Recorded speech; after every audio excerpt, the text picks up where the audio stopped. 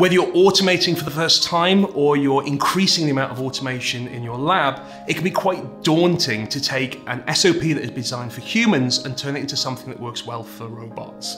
Automata's created this really simple process we refer to as the automated workflow. This is where a lab manager works with our engineers to create something that ensures that you get all of the consistency and the quality of a manual SOP, but with the power and flexibility of an automated system. We analyze some of the instruments that laboratories have already and see how our software fits within to their systems.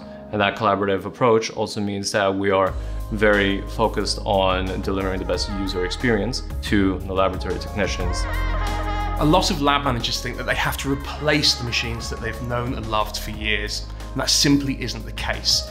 Automata has an extensive library of drivers that can allow some of the most popular products in the market to connect in and can leverage the power of automation from there.